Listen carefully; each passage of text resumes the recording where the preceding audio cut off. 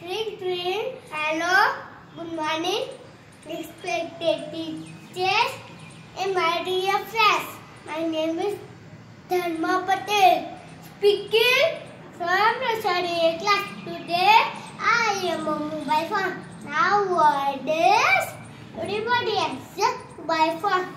It's small, big, cheap, or a possible. I am used to call, click pictures, listen to music, to record videos, and find the path on the map.